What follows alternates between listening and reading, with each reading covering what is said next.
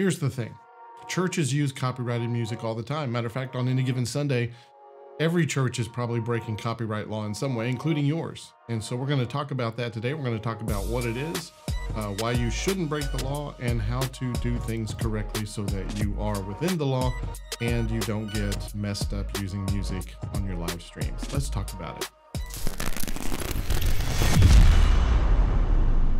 So the bottom line is uh, recreating using somebody's music that they have produced, performing it, um, posting lyrics, um, sharing it publicly with an audience is usually um, against copyright law. Um, you know, you print a, a lead sheet uh, of a song and you hand them out to your musicians so that you can learn that you've just broken copyright law, right?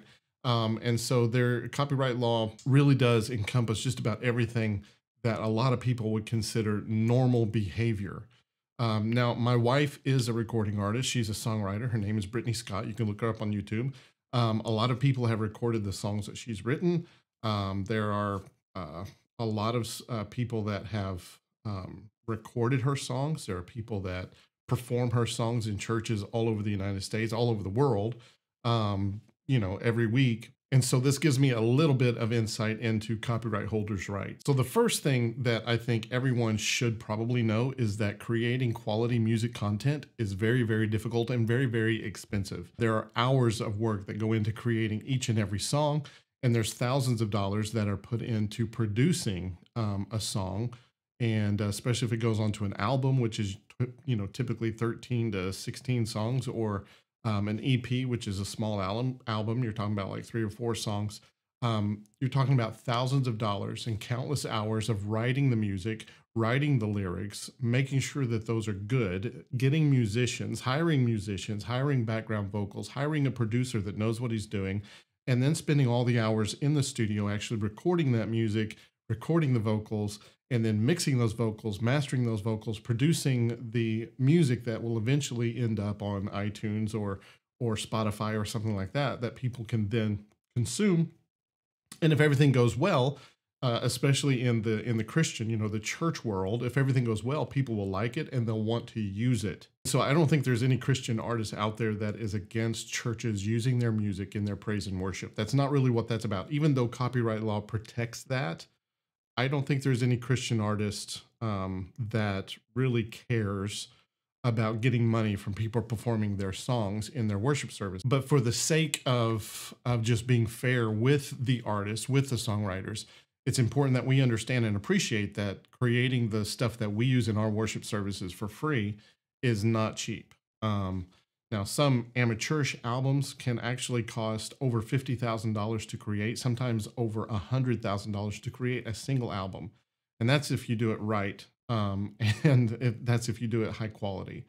Um, but the other side of that is that the singers, the songwriters, the ones that produce that kind of uh, intellectual property rarely, if ever, recoup all of their money through album sales.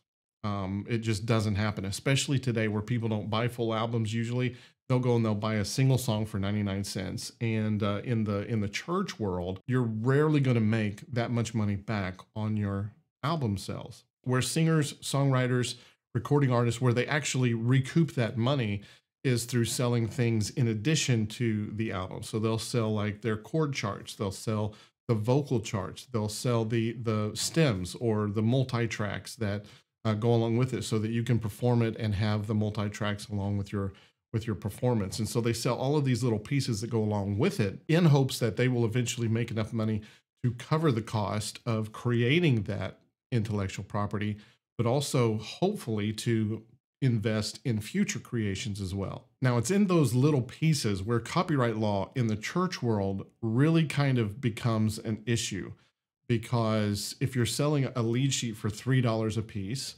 um, it's not unheard of for someone to buy that lead sheet for $3 and then distribute it to their circle of friends, right?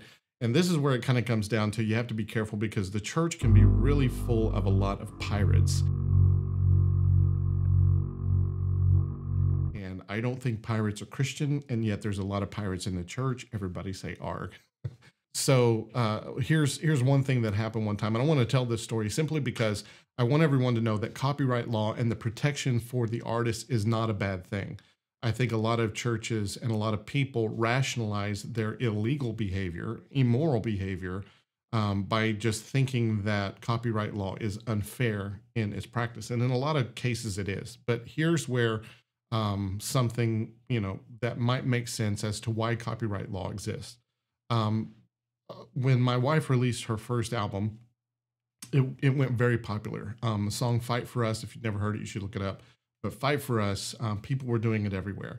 And um, my wife got a text one day from one of her friends that said, "Just so you know, um, I'm a member of this Facebook group. It has hundreds of members from people all over the country, all over the world, and a lot of them are uh, are music directors in churches.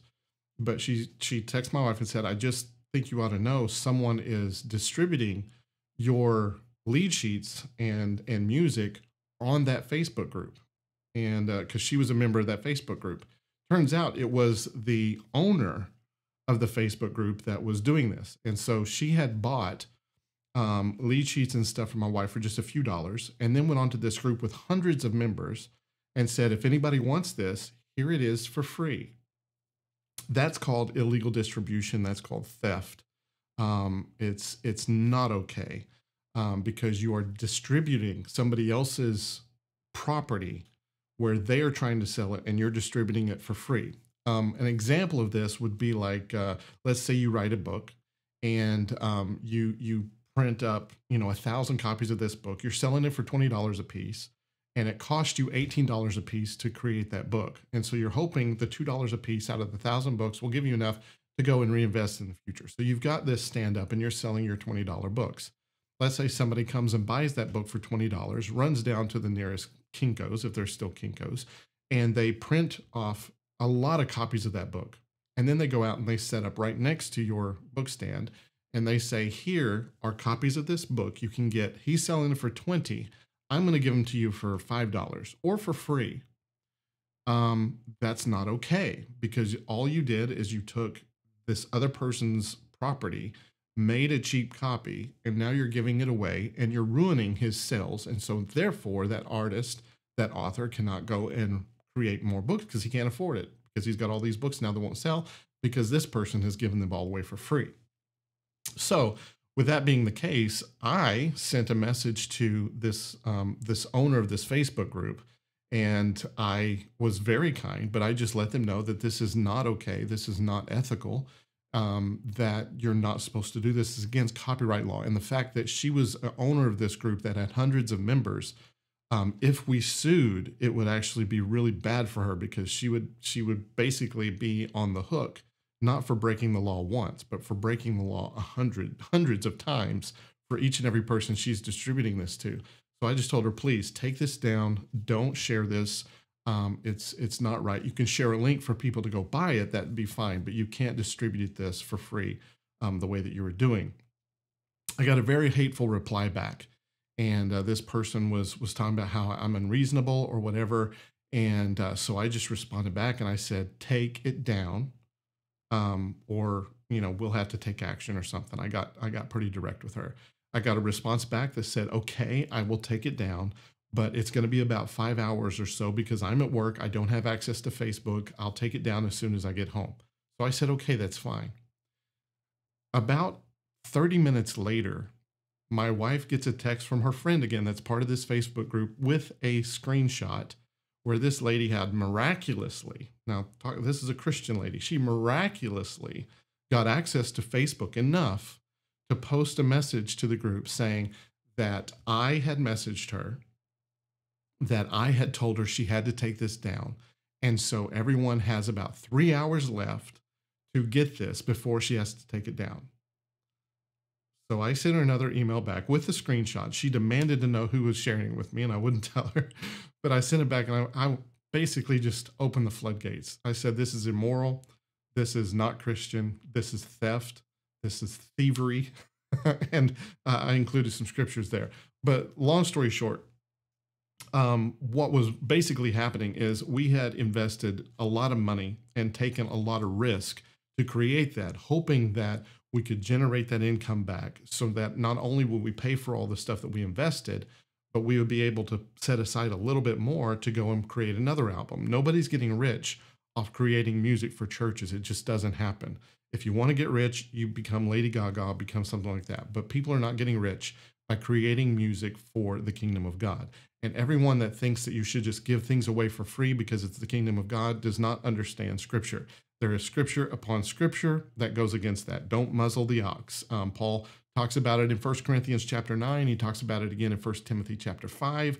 The laborer is worthy of his reward. Don't muzzle the ox, everything like that. So people that say, well, since it's a Christian song, she should give it away for free, they don't know what they're talking about. They're actually not biblical. Therefore, they are not full of truth. They're false. Now, I'm going to jump off that soapbox and just let you know um, the copyright law is there to protect the ability for the artist to get what they deserve so that they can keep creating more art. With that being said, it's very, very hard for churches to comply with all copyright law because the copyright law is written for the secular industry. It's not written for the Christian church world.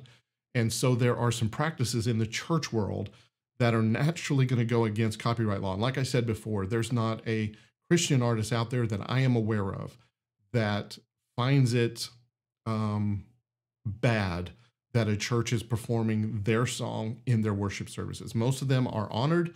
most of them, that's why they create it. So um, while it might be against copyright law, it's not against the moral law of the artists that are creating that. Um, so let's talk about the legal part, the things that actually matter for your live streams when it comes to copyright law and then the things that that you can do and kind of the problems that you're going to face with copyright law and live streaming because it's not perfect and it's not going to be perfect at any time in the future but this is a, this is a way to protect yourself while also giving yourself the best chance to have success. Um, so let's talk about the legal part first. To be legally righteous you need a license if you're going to perform music um, that somebody else has written, somebody else has has copyrighted, you're going to need a license to perform that in your church.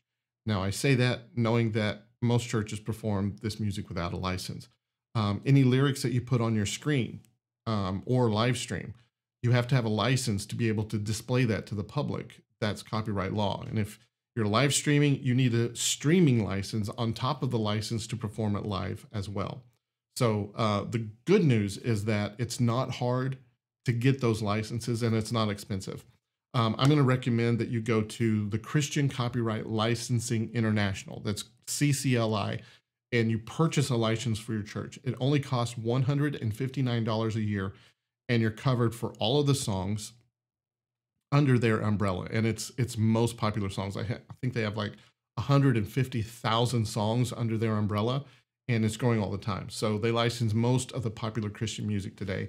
And uh, so all you do is you pay $159 a year and you can have their plus license. Their plus license covers the following you can stream your worship service while you're performing songs um, that are copyrighted, you can stream to multiple platforms, you can display the lyrics on your screen and on the stream.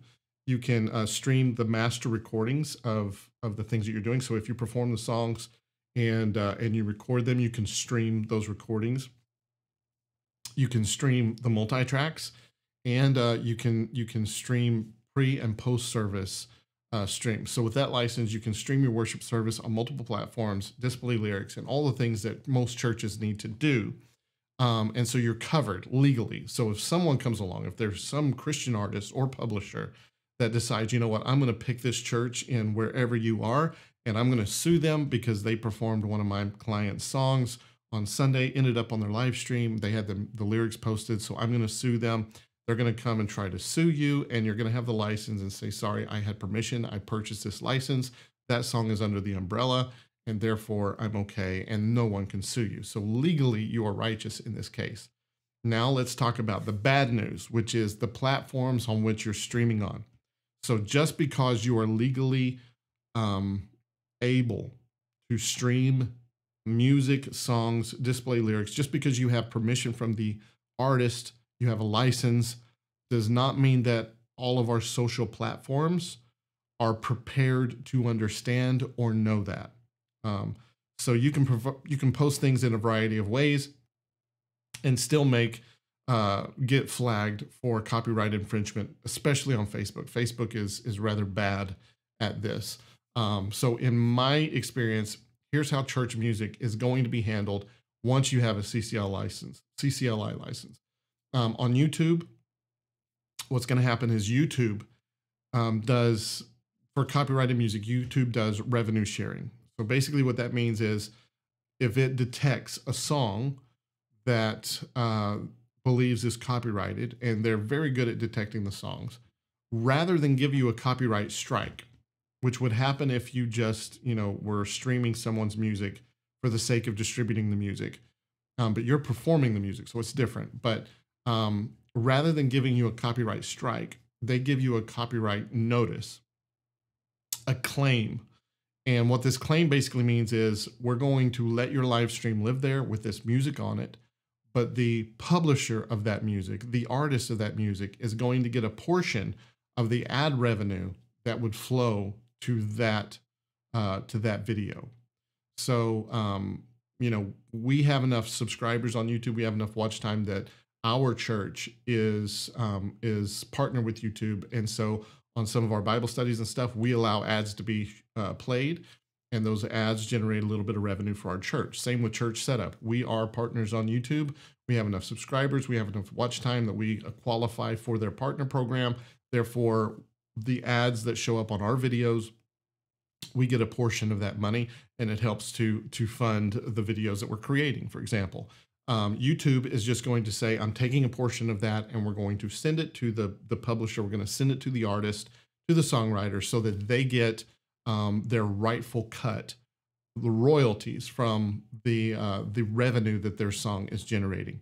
And uh, so that, in my opinion, that's the most fair thing that they can do. So um, you may think it's unfair. You may think that you know they shouldn't monetize your video, but YouTube is a free platform. Therefore, the audience and the people that are using the free platform is the product so you are the product of YouTube. So if YouTube wants to put an ad on your video, they're within their rights to do it.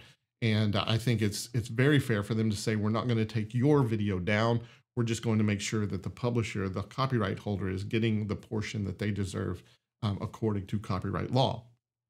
Facebook does a much worse job than YouTube, um, mainly because Facebook's monetization is very poor compared to YouTube. So Facebook has been trying for a long time, and to be honest, I don't spend a lot of time on Facebook, so you may be more familiar with this, but Facebook started putting ads, pre roll ads, mid roll ads in their video content um, to try to make money, to try to then share that money with creators and try to compete with YouTube. I don't think that's going very well. Um, anytime Facebook put an ad in a video that I was watching on Facebook, I would just move on. um, so uh, I don't know how well that's going, but I know Facebook's monetization of content um, has been very poor compared to YouTube's model of monetizing content. Therefore, Facebook has a harder time in saying, I'm going to take this money that we have generated and share it with a publisher. So Facebook is in jeopardy that they allow this copyright protected music, and I'm talking about music as a whole, like uh, secular music and everything. If Facebook just allows it to be streamed and everything, then the publishers can sue Facebook. Um, and so Facebook wants to protect itself. Therefore, since Facebook does not have the capacity to do revenue sharing like YouTube does, they've got to protect themselves in some other way. And that means muting or taking away your stream. Um, now, even if you have a license, Facebook can and may mute your stream. Facebook can and may just take your stream off the air um, because Facebook is Facebook and that's just how it is um, I see a lot of people, and and I usually chuckle, but it's also kind of frustrating that people are believing this. Um, they'll post something like at the top of their Facebook post over their live stream, "We do not own the rights to this music." That doesn't do anything. It doesn't protect you in any way. Um, it's it's a silly thing. It's like those people that publish on Facebook and say, "Copy and paste this onto your wall," and then they're going to you know obey the privacy that you just stated. And so people put this huge disclaimer on there. It's like a chain letter. Um, those things, it doesn't protect you at all. What will protect you is following CCLI's guidance and making sure that you publish what they say to publish. So Um, Facebook is really bad, but you can take a few steps, which we'll talk about in a second, to protect yourself and give yourself, you know, the best possible um, chance not to be muted or or kicked off by Facebook. Um, other closed platforms like Resy or other platforms that it's closed. In other words, Facebook and YouTube are very public. But if you pay for a service that allows you to embed your videos on your own site, that's closed. People come to you for the video content. They don't go to a public platform.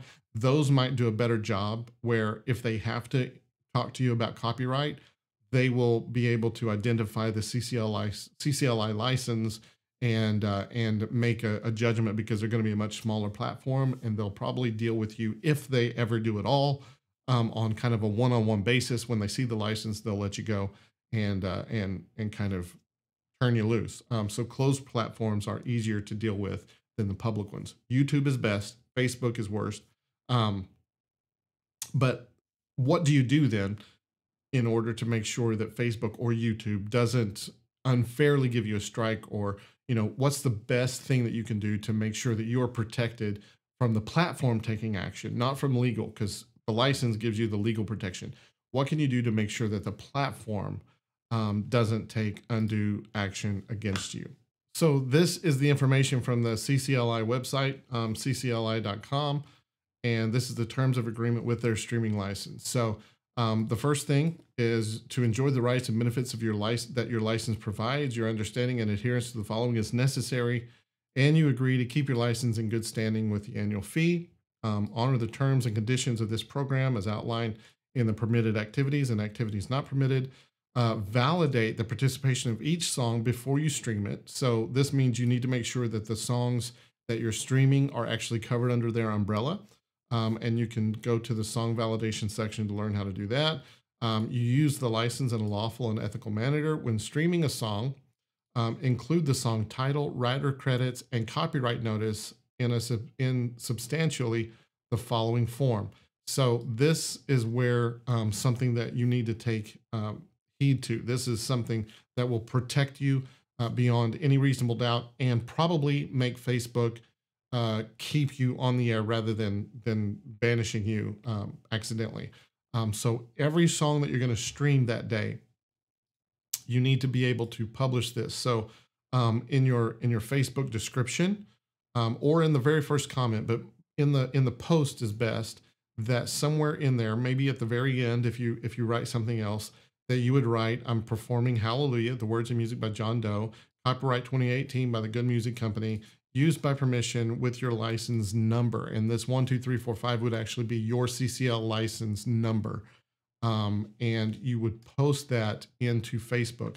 Now, this text may dis- be displayed in the stream at the start of each song or outside of the stream in your video description. It might be a best practice to do both. So, just like um, think of when you're if you ever see a, a music video played on TV, um, at the very beginning of that music video, down in, in the lower third, they're going to put something exactly like this, um, something exactly like, um, they're going to put that on the screen. It's usually in little white letters down at the bottom or in the top left. Um, but this would be a good practice too, to just post this when that song begins for the first 20 seconds or so that, that those um, those words would appear like in a lower third um, that you're performing this. That would protect you and put it in your description. Um, so you would get kind of protection on both ends. Um, here are the permitted activities that you can do with this license. You can live stream songs performed in your church in audio or video form. You can retransmit the songs so you can stream again, um, upload so that people can watch on demand those um, from your church service. You can distribute the audio video files of songs performed in your church service to personal computers or similar, uh, similar capable of receiving such files. So um, this is like creating a recording of your service that you would sell. Um, some people do that or they distribute it for free or whatever. Um, uploading videos to YouTube um, and similar service provided that the copyright owners have the right to monetize and place ads on videos. This is why Facebook has such a hard time containing their own copyrights. Um, so um, the terms of agreement with CCLI does not override the terms of agreement with those streaming platforms. That's why Facebook, um, I would really, I mean, YouTube is much better than Facebook. I'll just put that out there when it comes to streaming. Here's things that are not permitted. You cannot charge a fee or receive any form of compensation for any of the permitted activities. So I said sell, can't sell it. Um, assign or transfer any rights under your license to any other church or group. You can't just let somebody else use your license. Um, you can't um, authorize any third party that is not your church's website. Um, you can't stream an artist or record label recordings of songs. Um, you can't stream songs from concert, conferences, or special events held at the church property where a financial charge, including donations, is required. Um, so if you require um, like ticket sales or something for people to get in, um, you cannot stream the songs from that um, performance. Um, you can't stream songs contained in non-church service audio or video content, such as a non-church service teaching video, televised event, or special um, productions. Regarding YouTube, you can't uh, sub-license or enter into any revenue sharing agreement for the monetization of the song. Um, and block you cannot block the use of advertising to be placed on a streaming website on behalf of the song owner which is an, again why facebook is having such a hard time. To confirm if a song is covered by your ccl license first identify the song's publisher then check if that publisher catalog is authorized under your license by searching the streaming license covered catalogs at this address.